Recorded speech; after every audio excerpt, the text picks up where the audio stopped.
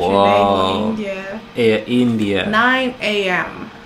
22nd, I mean, first, January. 2024. I know, right? Ooh.